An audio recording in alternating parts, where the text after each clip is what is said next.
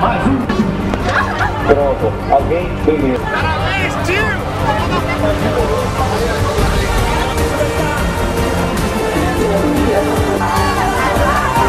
Som.